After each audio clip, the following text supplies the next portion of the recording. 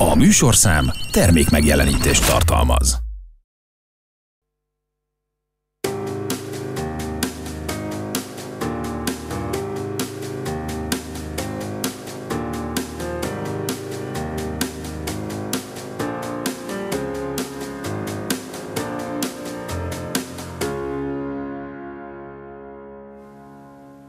Nagy szeretettel köszöntöm Önöket, a Fehérvár Televízió városismereti műsorát látják.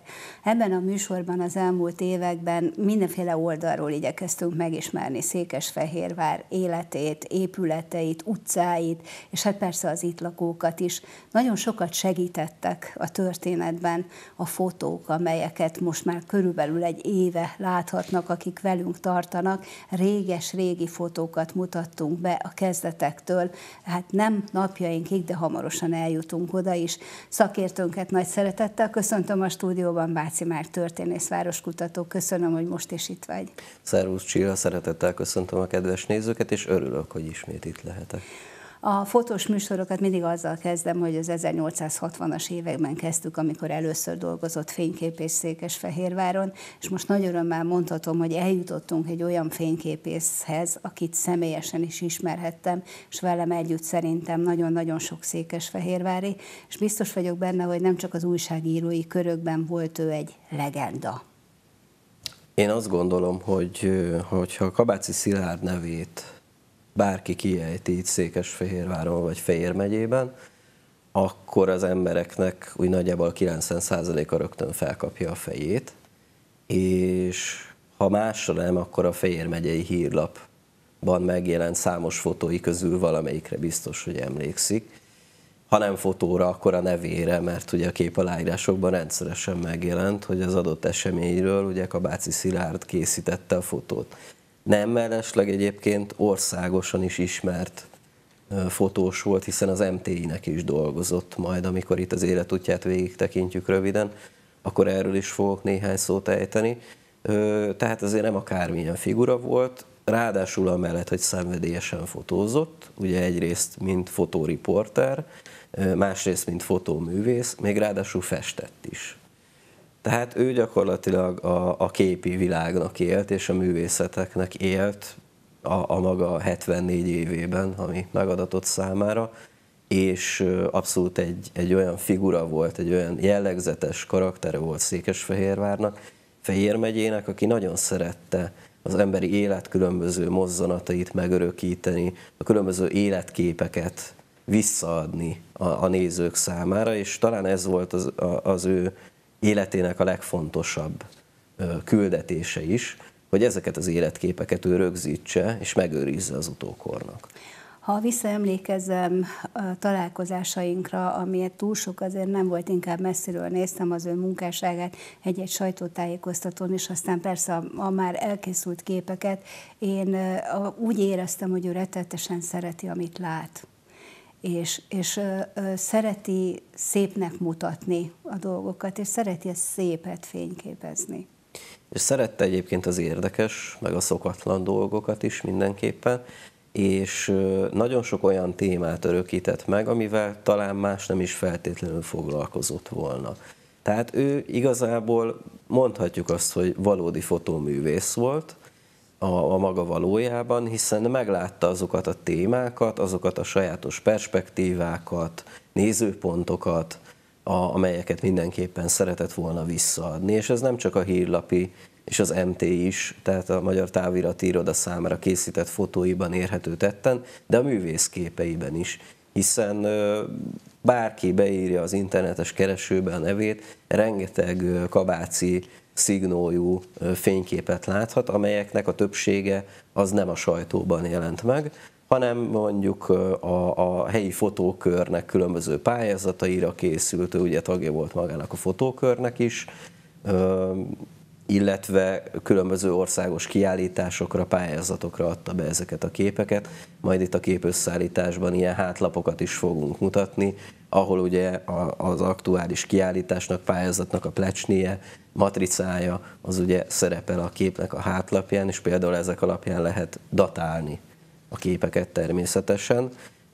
Úgyhogy nagyon érdekes nézőpontból közelítettő különböző témákhoz Az összeállításban én leginkább olyan képeket hoztam, amelyek fehérvári vonatkozásúak, és a fehérvári várostörténethez kapcsolódnak, vagy jellegzetes fehérvári helyszíneket jelenítenek meg, de mindenképpen érdemes elmondani Kabáci Szilárd kapcsán azt, hogy nem csak Fehérváron fotózott nagyon sokat, ugye külföldre is azért többször utazott, akár Olaszországba, akár Észak-Afrikába, a különböző helyszínekre, és itt is nagyon fontos helyszíneket, életképeket örökített meg, de ugyanígy bejárta egyébként a megyét is a munkája során. Tehát amiket például most nem mutatunk meg, Fidel Castro látogatása a Polgárdi Termelőszövetkezetben, ami nem fehérvári vonatkozású, de azért mégiscsak egy érdekesség. Akkor a különböző ipari üzemekről készült látogatási felvételek, színházi felvételi, akár budapesti vonatkozásban, majd azért néhány koncertről fogunk képeket mutatni, amelyek kifejezetten Székesfehérváron készültek, tehát helyi eseményekről. Az egyik leghíresebb kép a jazz dobos, az például egy kubai dobost örökít meg, szintén nem fehérvári, azért nem is hoztam ide ebbe az összeállításba.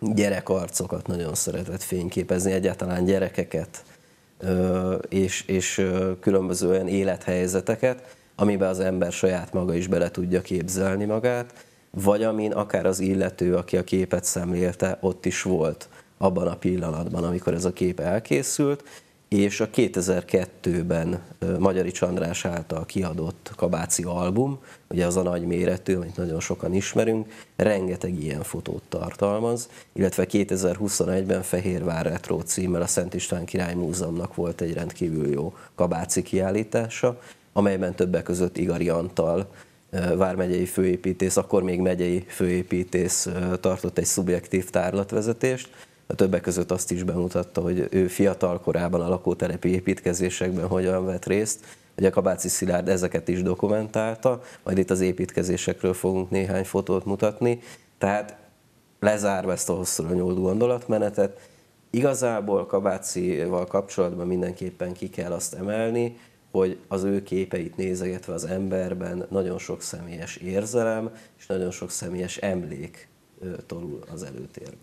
Életrajzi adatokat tudunk róla mondani? 1930-ban Vásáros Naményben született, egy jómodú polgári családból származott, és a középiskola évét Beregszászon kezdte el. Ugye ez egy sajátos helyzet volt akkoriban, ugye ez a 40-es évek eleje, amikor ugye Kárpátalja félig meddig Magyarországhoz tartozik, ugye egy visszacsatolás során, és aztán a háborút követően Budapestre veszik fel a képző és iparművészeti gimnáziumba, ahol egyébként 1954-ben festőszakon érettségizik. Tehát 24 éves korában, itt ugye a háború közbeszólt, nagyon sok minden történt. Itt a rajzkészsége volt a kiemelkedő igazából, és ő ezt a, ezt a képességét kezdte el kamatoztatni, Ugye a családi háttere miatt képzőművészeti főiskolára jelentkezett ugyan, de nem vették fel. Ugye polgári származás miatt Bélistán volt egyébként is a család, tehát szó nem lehetett arról, hogy ő felsőfokú tanulmányokat folytasson.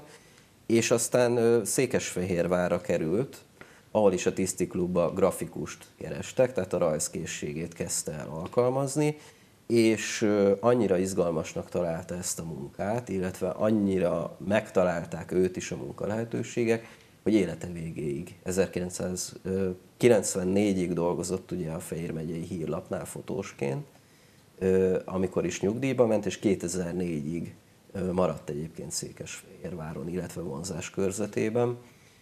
Tehát itt, itt, itt élte le gyakorlatilag az életének a jelentős részét és ugye ez az 1958-as kezdés itt Fehérváron, ugye a már említett hírlapi munkával folytatódik, mert közben ő dekoratőrként is dolgozik a Tisztiklubban, illetve modellezőként, grafikusként is dolgozik, és hát itt tanulja ki igazából a fotós szakmát, aztán jelentkezik ugye a Fehér megyei hírlaphoz sajtófotósnak, fotóriporternek, és annyira jó képei vannak, ráadásul különböző pályázatokon is indul, már a 60-as évek elejétől kezdve, tehát még tanulja a szakmát, de már nagyon jó fotókat készít, hogy aztán az MTI alkalmazásába kerül, és hát párhuzamosan folytatja a hírlapi, illetve a, az MTI fotós tevékenységet, mellette természetesen a művészi munkát, és 14 éven keresztül Magyar Távirati Iroda az MTI külsős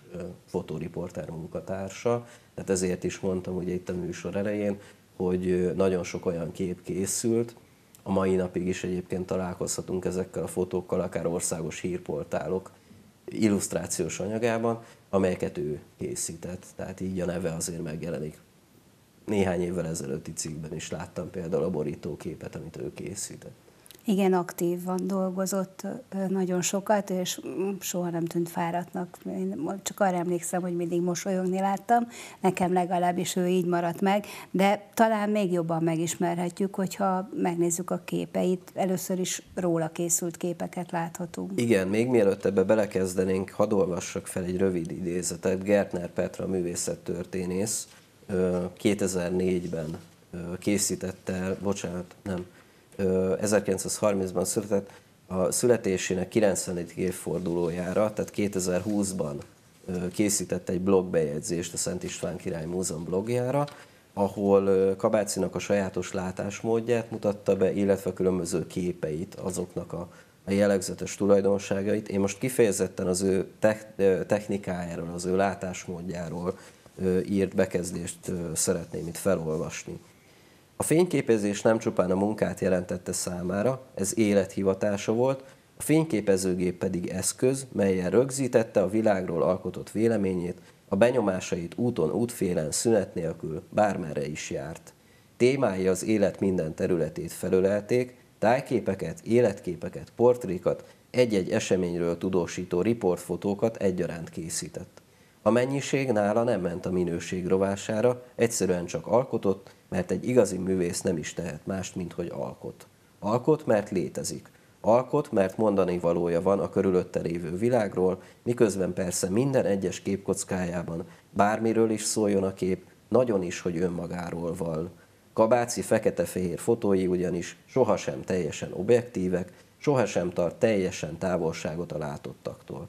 Nála a megörökített személyeknek, híres embereknek és a kisembereknek egyaránt, de még a tájnak is története van. Képeinek van valamiféle meghitt, bensőséges varázsa. Annyi szeretettel, oly sok humorral tudott kapcsolódni a megörökített emberekhez, tárgyakhoz, tájakhoz, melyeket látva nem maradhatunk közömbösek, mi nézők sem. Én köszönöm szépen Gertner Petrának ezt a remek összefoglalást, mert ennél jobban szerintem nem is lehet Kabáci Szilárdnak a munkásságát bemutatni. Az én emlékeim is igazolódtak, nem csak az én véleményem volt akkor ez róla. Hát lássuk akkor először őt a fotókon. Igen, aztán fogunk majd természetesen olyan képeket mutatni, amelyeket ő maga készített. Itt hoztam néhány képet. Az első kép az a blogbejegyzésben is szerepel. 1958 környékén készült ez a fotó, ugye akkor kezdett el dolgozni ő a Tiszti Klubban, és egyébként 58-tól működött a Fekete Sas szálloda egykori épületében ez a Tiszti Klub, tehát a, a, a szállodának az egykori bejáratát látjuk ugye itt a képen, és hát ugye az ajtóban pedig maga a mai adásunknak a főszereplője, Kabáci Szilárd, ekkor ugye 28 éves, és már Székesfehérváron dolgozik, dekoratőrként és grafikusként itt a Tiszti Klubban, és hát ugye a, a jellegzetes bejárata a Fekete Sasnak az természetesen elég jól felismerhető, ugye főleg azokról a kerékvetőkről, azokról a kerek bevilágító ablakokról ott az ajtón, meg ha valaki kicsit közelebbről megnézi azt a képet, akkor azok a rácsok is látszanak, amelyek a mai napig az ajtót díszítik. Tehát innen indul igazából Kabáci Szilárd munkássága, és hát aztán gyakorlatilag marad ezen a környéken, hiszen a Fejér megyei hírlap fotósaként is ugye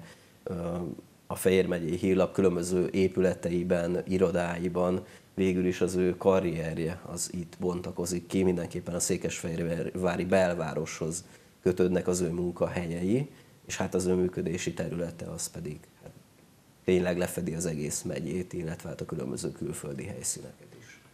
Van még olyan kép, amelyen őt látjuk. Igen, itt, itt már munkában látjuk, a Fortepánról származik ez a felvétel, az előző az a Szent István Király Múzeum fotógyűjteményéből, és egyébként a legtöbb fotó, amit most bemutatunk, főleg az általa készítettek, azok a Szent István Király Múzeum fotógyűjteményében találhatók, a Kabáci hagyatéknak a, a nagy része az ugyanis itt található, illetve a Fejér megyei hírlapnak van még egy remek sajtóarchívuma, az úgynevezett Kabáci archívum, amiben szintén remek fotók vannak, azokból én most nem hoztam példát, de az interneten rengeteget találunk. Tehát a Fortepánra ö, került fel, a, valamikor a 60-as években készült, láthatjuk azt, hogy egy ö, darab ö, fényképezőgéppel dolgozik, és még legalább három lóg a nyakában, meg van nála egy oldaltáska is, tehát el tudjuk képzelni, hogy, hogy mennyire szorgos és mennyire gondos munkát végzett, hogy gyakorlatilag az összes eszközt folyamatosan vitte magával, és a következő képen is egyébként egy ugyanilyen jelenetet láthatunk, ugyanekkor készült ez a, ez a felvétel egy másik beállításból, és hát itt is lógnak rajta hogy a különböző fényképezőgépek. Hát Kabáci Szilárdot így, így lehet egyébként a legjobban megjeleníteni. Igen, valóban tényleg ennyi táskával járt folyton, és közben alkotott természetesen.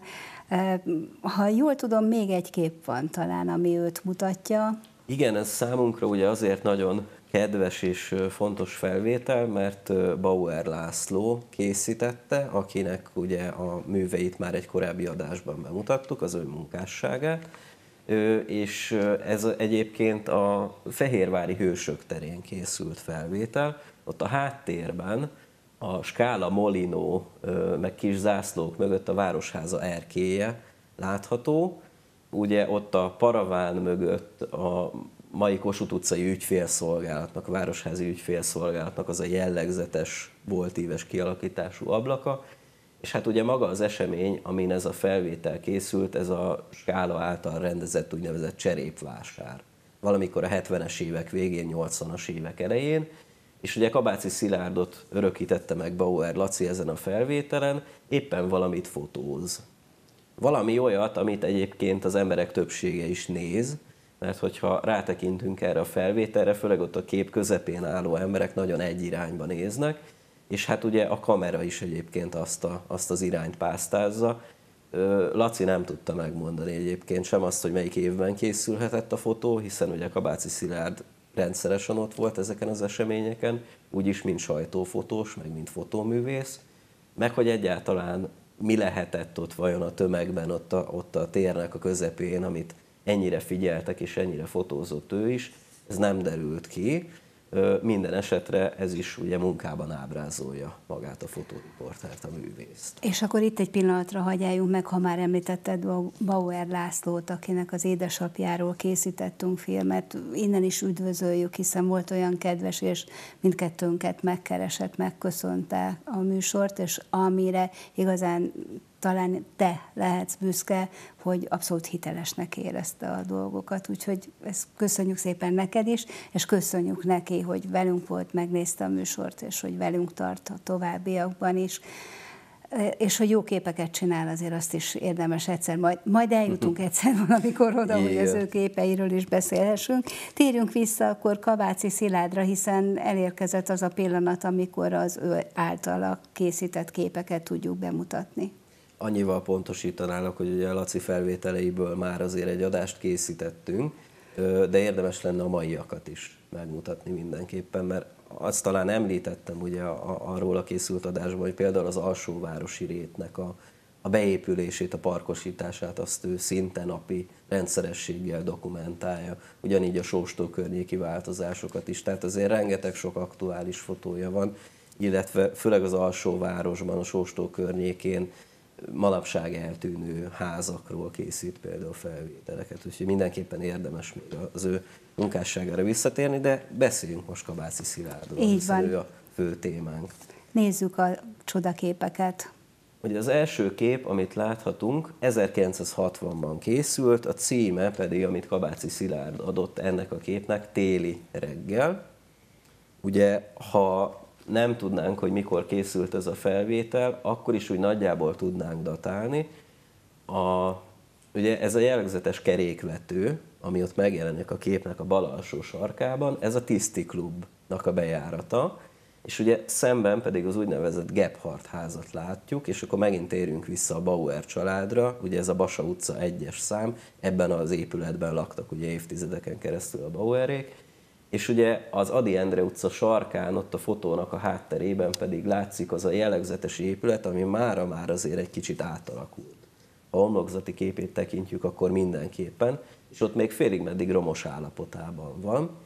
Ugye ez a Mátyás emlékmű helye melletti épület igazából, amiről szó van. Ugye ott egy vaskereskedés az bomba találatot kapott, és ezért a szomszédos épületek is megsérültek egyébként 1944 végén, és ez még a félig meddig romos állapotában látszik, 1960-ban, és ugye a 60-as évek elején indult el aztán a nagy felújítás, illetve majd megmutatjuk, még nem, de majd megmutatjuk a képnek a hátoldalát, amin pedig egyértelműen látszik az év, hiszen ez már egy fotópályázatra készült. Én érzem csak úgy, hogy mindjárt ezen a képen ott van Kabáci Szilárd humora ezzel a hósöprűvel, amin keresztül megmutatja mindezt, amit elmondtál. Abszolút ott van, és ugye ez a sajátos perspektíva, amiről, amiről már beszéltem, és amiről ugye Gertner Petra is ír, hogy neki, mint fotóművésznek is megvan az a sajátos látásmódja.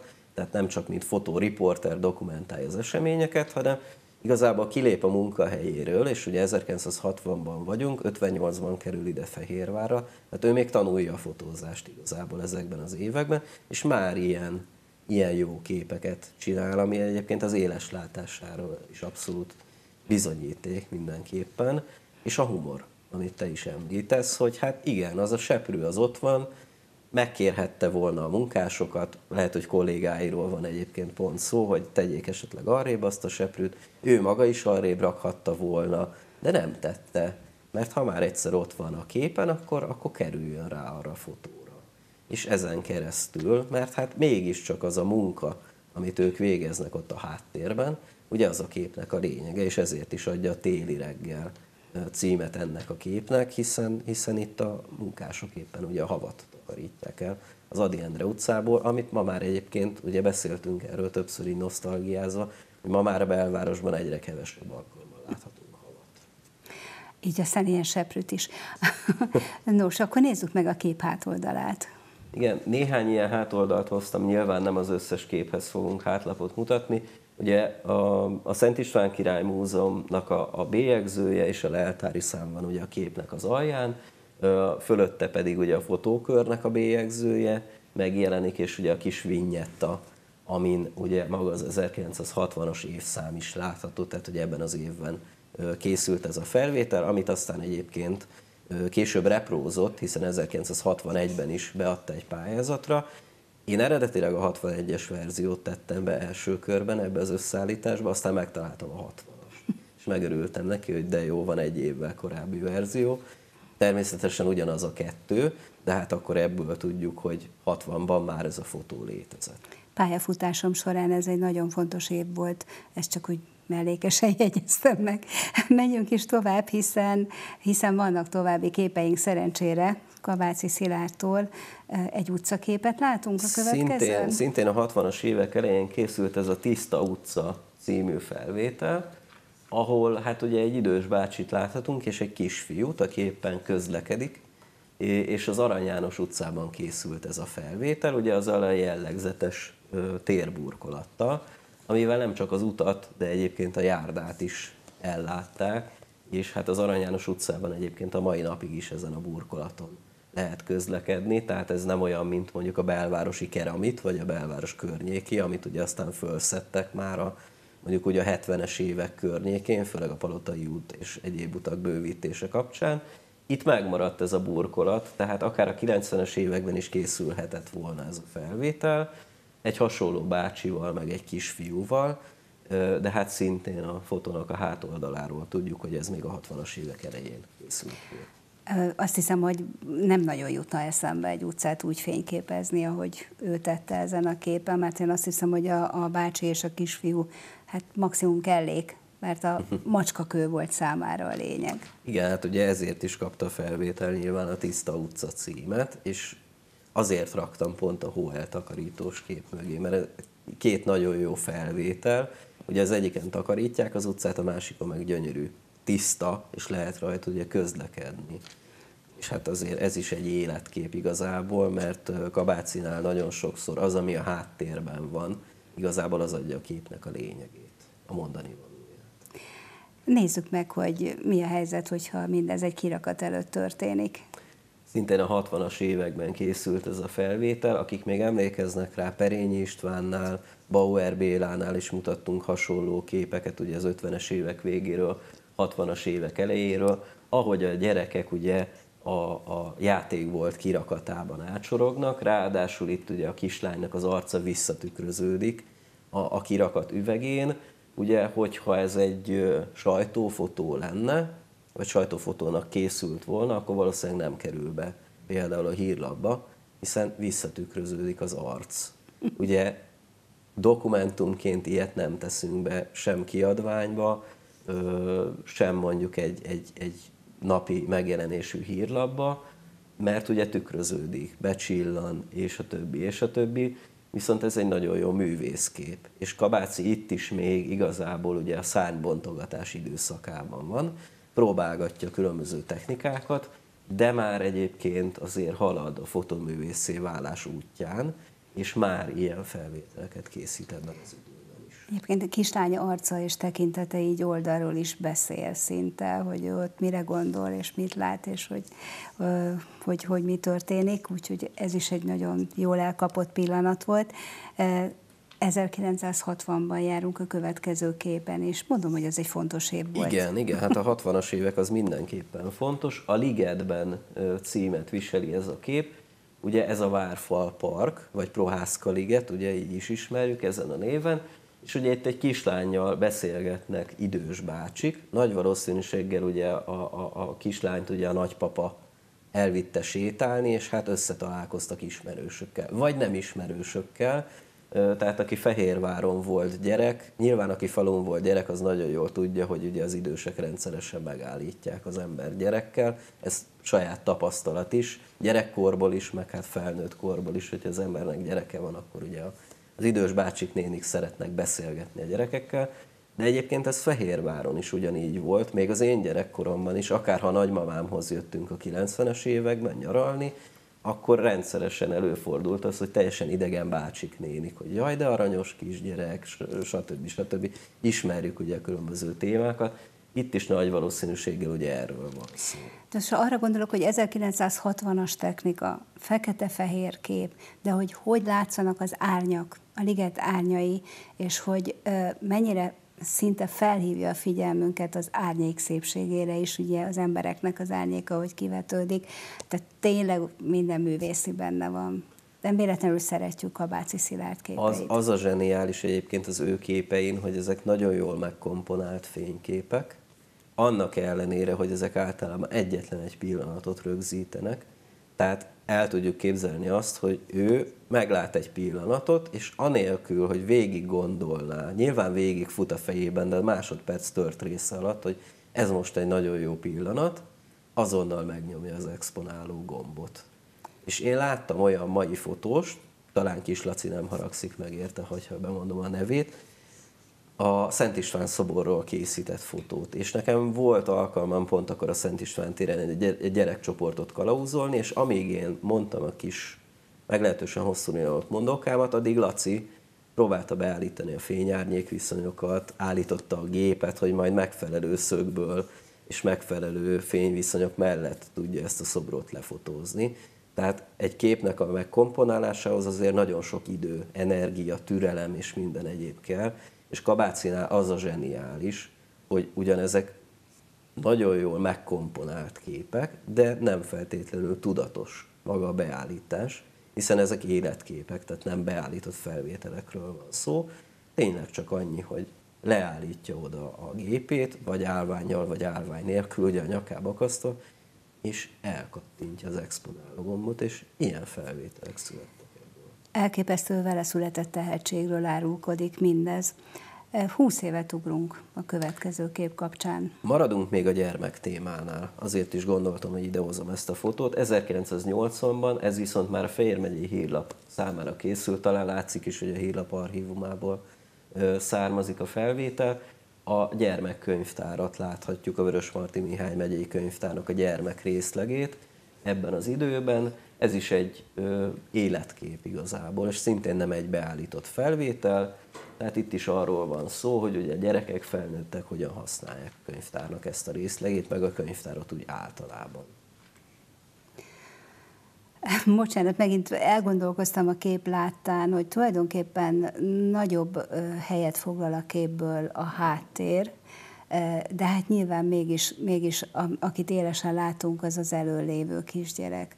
Tehát elképesztő komponálások. Igen, tényleg. igen, ugye erről írta Gertner Petra, hogy, hogy Kabácinak a képei teljesen aszimmetrikusak és nem a fő mondani valót állítja a középpontba. Tehát ahogy ma mondjuk valaki egy telefonnal fényképez, és ugye automata zoom van rajta, tehát be lehet állítani azt, hogy ugye arcra fókuszáljon például akár a telefon is, mert ma már arra is képes 3, 4 és akárhány kamerával.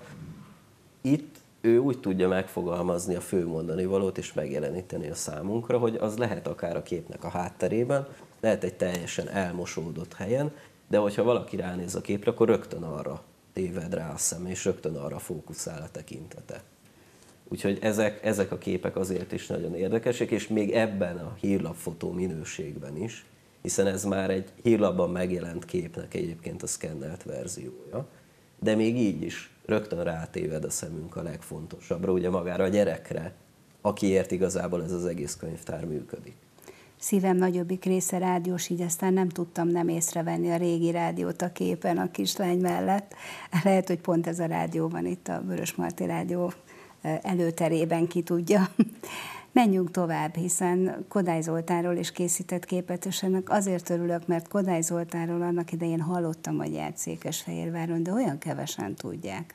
Bizony, ugye Mihály Gyuláné meghívására járt annak idején itt Székesfehérváron, ugye a zene, zeneiskolát látogatta meg természetesen, illetve a helyi kórusokat, hiszen ekkor már több kórus is működött a városban, és 1963 volt ez, a, ez az év. Ha nagyon fel akartam volna készülni, akkor nyilván napra pontosan tudnám a dátumot is, hiszen a helytörténet ezt jegyzi, illetve Demeter Zsófia természetesen Székesfehérvár annó negyedik kötetében, ami rengeteg kabáci fotót tartalmaz, leírta ezt is meg hát a, szerintem az idősebbek amúgy is emlékeznek rá napra pontosan, főleg akik akkor voltak mondjuk gyerekek, és részt vettek ezeken az eseményeken. Hát az idős Kodály éppen bejegyzést ír ugye az iskolának a vendégkönyvébe, nagyon jól érezte magát, egyébként Székesfehérváron ezt tudjuk, visszaemlékezésekből is elkápráztatta az, hogy milyen élénk kórus élet van, és milyen élénk a zenei nevelés itt Székesfehérváron a gyerekek vonatkozásában, már egészen kicsi kortól is. Ugye ne felejtjük el, hogy zeneiskola is működött ekkoriban állami vonalon Székesfehérváron, az a rengeteg kórus, gyermekkórusok, felnőtt kórusok, vegyes karok, tehát ez mind-mind megjelent, és, és tényleg nagyon élénk volt a zenei és a kórus élet itt a városban ezért természetes volt Kodály Zoltán számára, hogy ellátogasson a városba, és ezt a pillanatot örökíti meg Kabáci Szilárd, amint éppen ugye a vendégkönyvbe bejegyzést ír. Hát ma már ez egy nagyon értékes bejegyzés természetesen, meg egy nagyon értékes Kodály aláírás, ami, ami ehhez kapcsolódik. Tehát ez egy olyan pillanatot örökít meg igazából, amin maguk a gyerekek nem láthatók. Kodály Zoltán maga a főszereplő, és hát ez egy nagyon fontos várostörténeti esemény természetesen, meg egy nagyon fontos kultúrtörténeti esemény is emellett, és azért illesztettem ide a sorba ezt a képet, mert ez is ugye még a gyermekekről, fiatalokról szól, de itt már azért kicsit a művészetek irányába, meg a művelődés irányába is elmegyünk. Folytassuk a képek sorát. Következő kép 1975-ben készült a Vörös Marti vetélkedőn, megint csak egy híres személy tűnik fel, ugye ott a képnek a, mondjuk azt, hogy a középpontjában, ő Antal Imre. Akinek ugye az zongora művészi karrierje az ekkoriban már ugye véget ért a kézbetegsége miatt, és a 70-es években, sőt talán már a 60-as évek végétől is ő ugye népszerű televíziós, ugye Kudlik Júliával együtt rendszeresen különböző vetélkedők, színházi közvetítések, kommentátorai, műsorvezetői, hát aztán majd ugye jönnek a mindenféle egyebek természetesen, ami, ami nyomán ők ugye legendássá válnak a különböző adások. Itt Antal Imre még egy magában ö, szerepel Székesfehérváron ennek a Vörös Marti vetélkedőnek a házigazdájaként, műsorvezetőjeként, és hát ugye a középiskolás diákság a képnek a hátterében, illetve maga a hangmérnök, vágó, aki itt szintén megjelenik. Tehát ez egy nagyon érdekes, mondjuk azt, hogy három rétegű kép, hiszen itt ugye mindenki dolgozik, mindenki munkálkodik, csak ugye mindenkinek más a feladata. És Kabáci Szilárd egyetlen egy ilyen képbe besűrítve megjeleníti ezt a három, mondjuk azt, hogy csoportot, amiben ugye az első két csoport az egy-egy szemét akar gyakorlatilag, és ugye a harmadik az magát, a diákságot, de hát egy fontos várostörténeti esemény is, meg egy fontos médiatörténeti esemény, bár azért azt ne feledjük el, hogy a 60-as, 70-es, sőt még a 80-as években is azért a magyar televízió az rendszeres vendég volt egyébként Székesfehérváron. Ma már ezt ugye a Fehérvár Televízió oldja meg a, a különböző közvetítésekkel, és ugye az MTV-án már ezeket a Fehérvár tévés közvetítéseket láthatjuk, de akkoriban még, mivel ugye a városnak nem volt saját televíziója, ezért az MTV jött igazából Székesfehérvár. Adáskiadóban helyet foglaló hangmérnök kollégám bizonyára a technikát is megfigyelte, ugye ez a 975-ös technikával zajlott a rögzítés és a hangosítás is, gondolom. E, ismét visszatérünk az időben néhány évet a következő képnél. Hát megint csak a gyerekek és a művészet vannak ugye a középpontban. 1964-ben készült ez a kép, Vatai Ferenc a címe egyébként. Tehát nem téli reggel, nem a parkban, és itt is láthatjuk azt, hogy hát ugye hol van Vatai. Egyrészt ugye a képnek a szélén, ráadásul oldalról látjuk, ugye ez a bal oldala, amit mi láthatunk, ennek az ülőszobornak, előtte áll egy kisgyerek.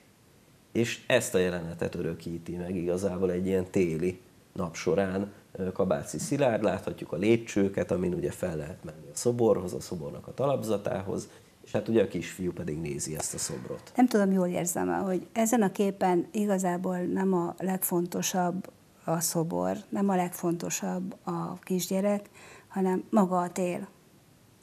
Ugye? Hogy igen, végül igen, és, végül és, ezt mutatja és, be. és igazából a, a, a fának, a lépcsőnek, a hónak, a gyereknek, a szobornak, meg a régi várfalaknak az együttese adja a képnek igazából magát a fő mondani valóját.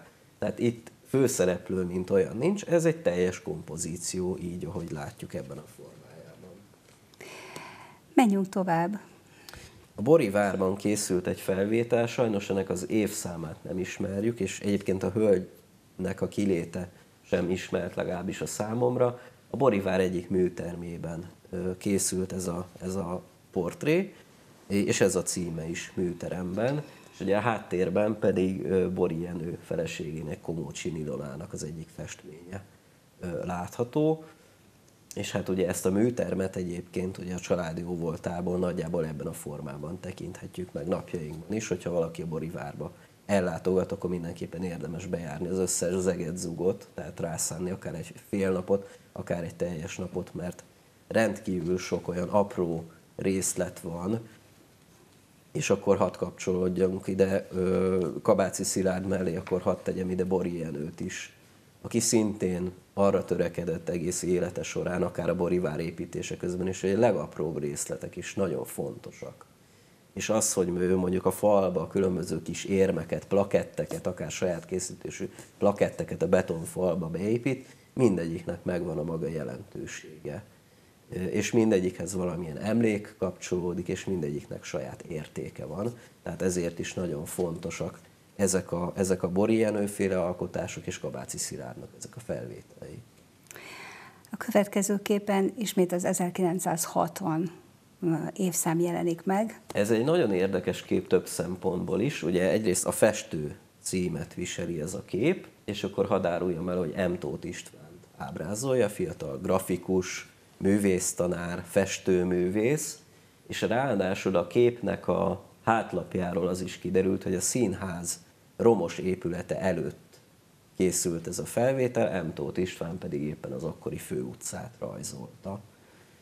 Vagy egy festményhez, vagy egy grafikához készültek ezek a vázlatok, és hát ugye ott van még két fiatalember a háttérben, akik pedig azt figyelik, hogy a fiatal művész mit, mit is alkot. Még volt idő megállni és nézni valakit, hogyha egy kicsit azért ehhez képest már idegebb a, a mi világunk és életünk, tehát akkor még kevesebben is értek erre, és jobban ismerték egymást az emberek. Jön egy újabb kép.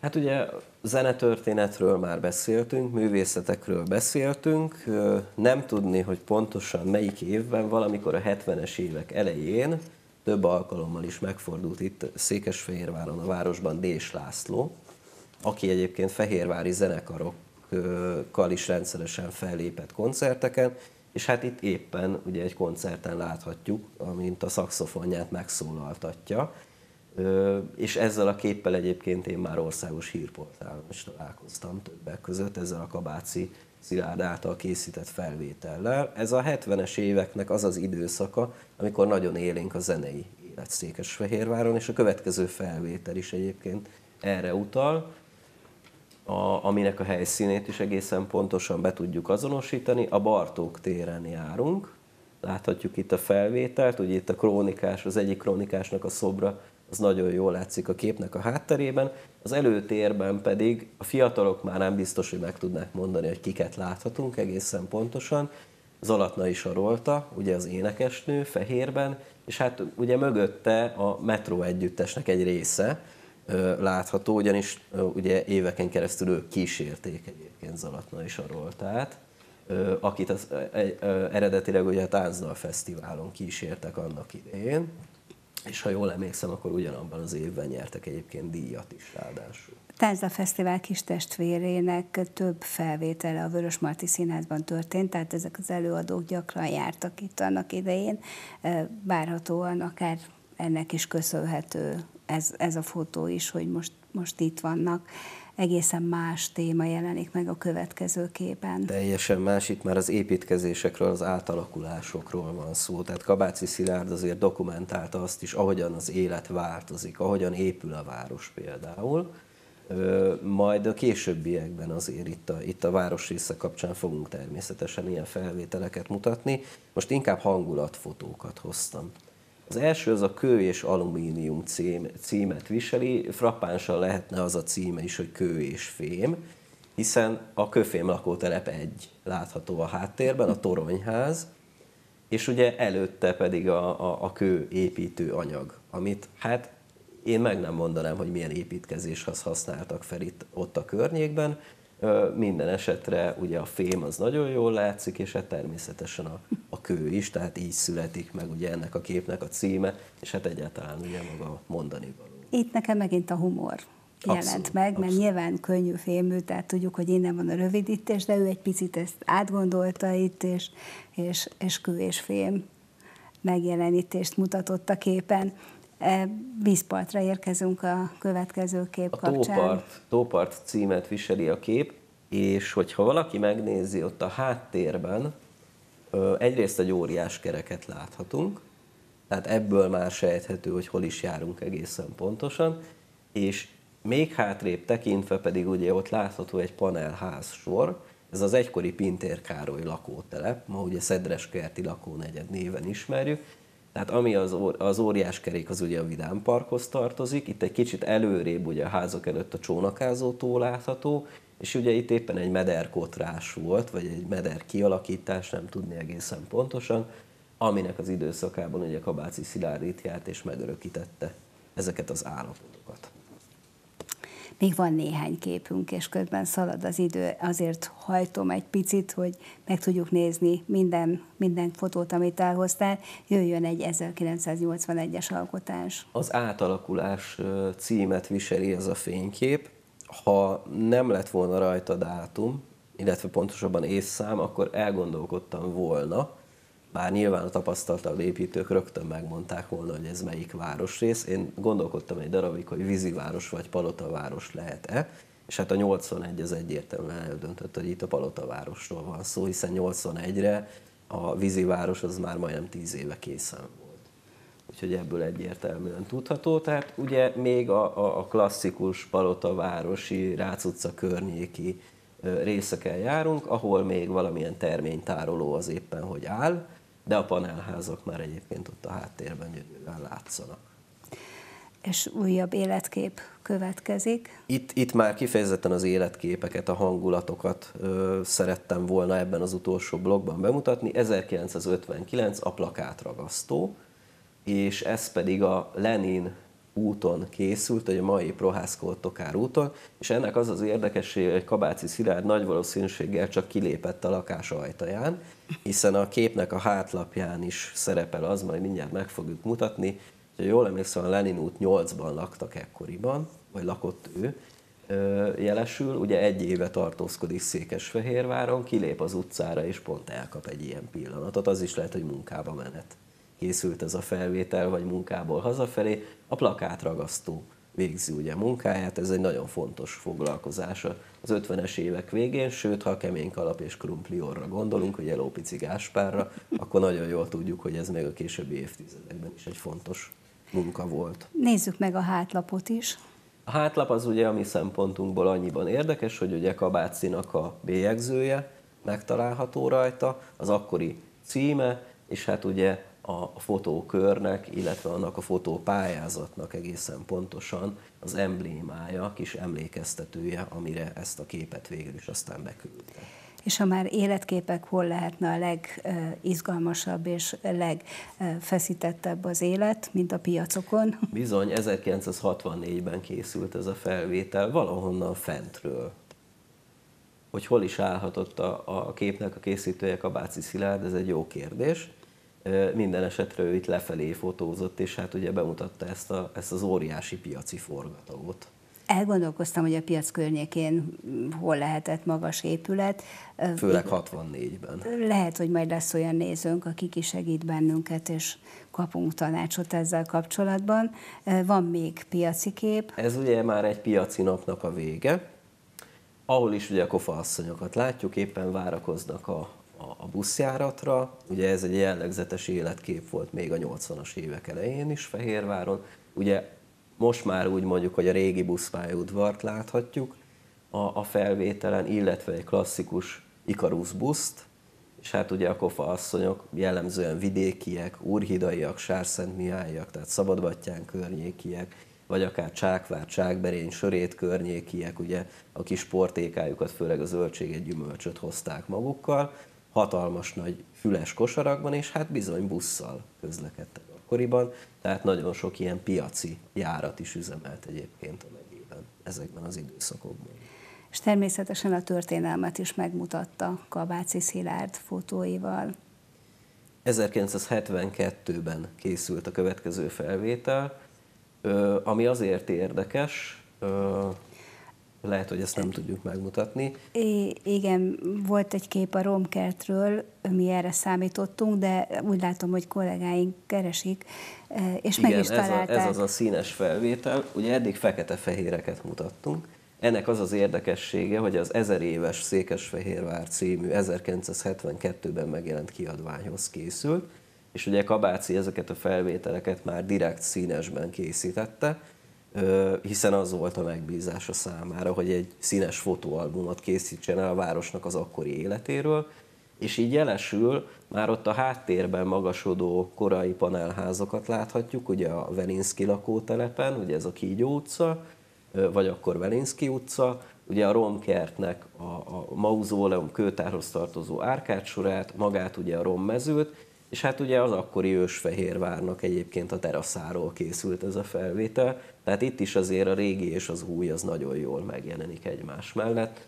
Ugye még ez kiegészül a, a, a lábas házzal, ami pedig ugye a kápolna bővítmény fölé épült, nagyon szépen meghagyva azt a bővítményt természetesen.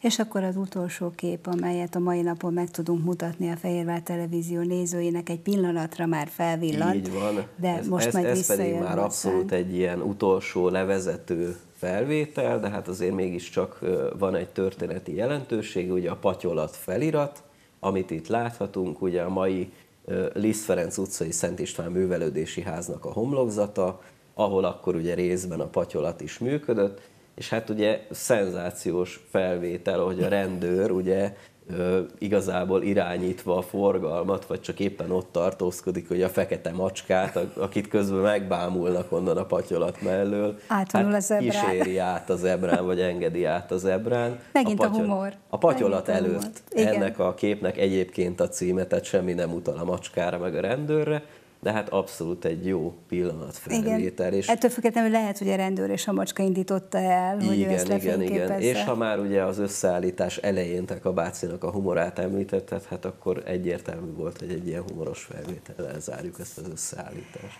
élmény volt nézni Kabáci Szilárd képeit, nagyon sok kép lenne még, amit megmutathatnánk, de ennyi fért bele műsorunkba. Én nagyon szépen köszönöm Váci Mártnak most is ezt a rengeteg munkát, és természetesen köszönöm a Fehérvár Televízió nézőinek is, hogy velünk voltak, városismereti műsorunkat látták. További kellemes tévénézést kívánok, viszontlátásra!